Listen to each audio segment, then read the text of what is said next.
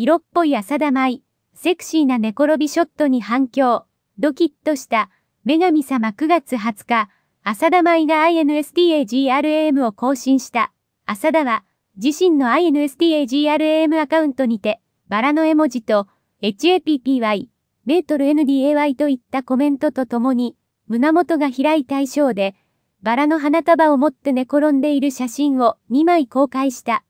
この投稿に、ファンからは、美しすぎて、色っぽい、セクシーすぎる、とても素敵、上品で美しいです。女神様、ドキッとした、大人の魅力などのコメントが集まっていた。そんな浅田は、フィギュアスケーターとして数々の世界大会に出場し成績を残し、引退後はスポーツキャスターとして活動するほか、アイスショーの出演やタレントとして様々なメディアに出演している。